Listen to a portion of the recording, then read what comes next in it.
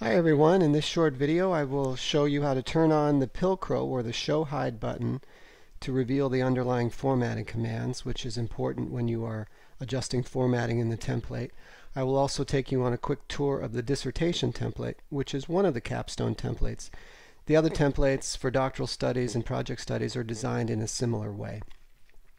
So first of all, the Home tab has several buttons, one of which is the Pilcrow or the Show Hide button. If your version of Word does not have the Show Hide button in this location, click the Help button and, and search for Show slash Hide to find the Pilcrow button. Notice when you turn this on, the underlying formatting commands are revealed. These are typically hidden when the Pilcrow is turned off, but when you turn them on, they are revealed. You'll see the hard returns. If you scroll down, you'll see a page break here that would not normally be visible.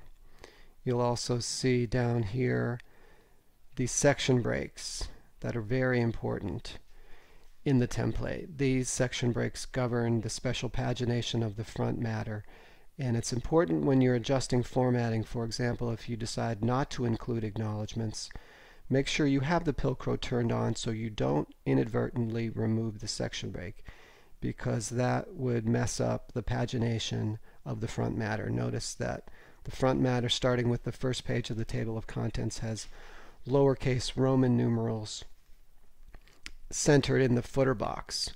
But when you get past the list of tables and the list of figures, which ends the front matter, you'll notice that the pagination changes from lowercase Romans in the footer to Arabic numerals aligned right in the header box.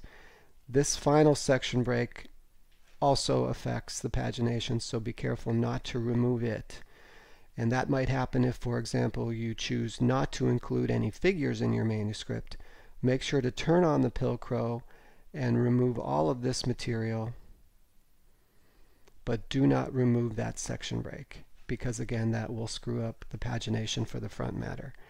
Let's do a quick tour of the template. I've already mentioned the front matter.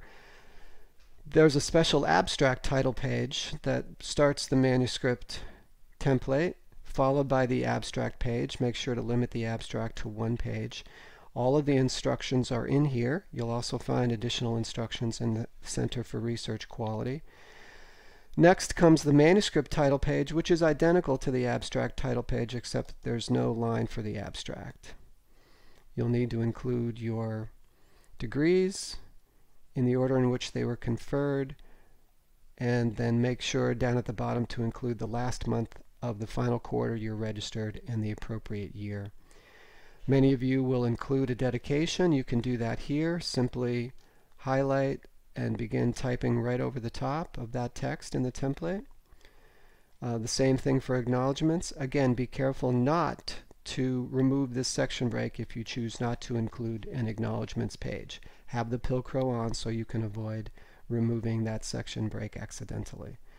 The table of contents, which I will address in another video, can be easily updated. It's one of the grand features of the capstone templates and I'll show you how that works in another video. Then you have a list of tables. Some of you may not include tables, so simply remove this highlight all the way down and then include the page break to remove if you choose not to include any tables. The same thing goes for the figures, but again, be careful not to remove that section break. It's very important. And then come in the dissertation template the chapters. Uh, for doctoral studies and project studies, you will have sections, one, two, three, sometimes four and five. A dissertation has five chapters. So you'll see sample text here, instructional text. Every chapter ends with a page break. And in chapter 4 of the template, you'll see sample tables and figures. I'll go over these in a separate video as well and show you how to format those in your manuscript. And then after the chapter or section pages comes the references page. Every one of the templates has a references page and each you'll see some samples in here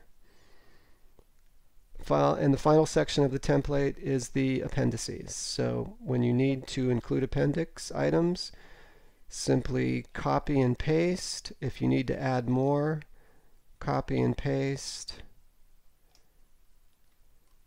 And then scroll down to the next page and then insert additional appendix items as needed.